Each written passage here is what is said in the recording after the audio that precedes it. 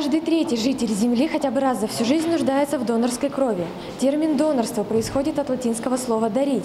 Но при этом более половины цельной крови в прошлом году было сдано за плату. Согласны ли северодвинцы жертвовать кровь? И какими мотивами они руководствуются? Спросим об этом на улицах города.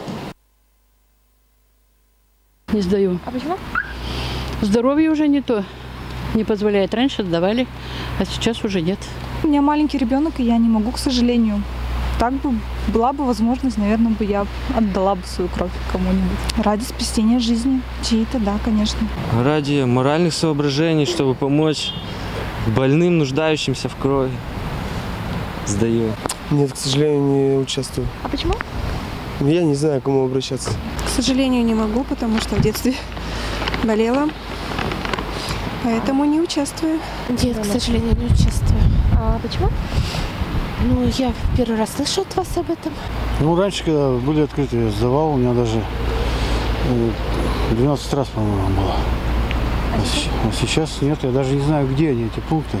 К сожалению, многие опрошенные не сдают кровь просто по причине неосведомленности о времени и месте проведения подобных акций. Хотя, безусловно, имеют и возможности, и желание помочь нуждающимся в донорской крови.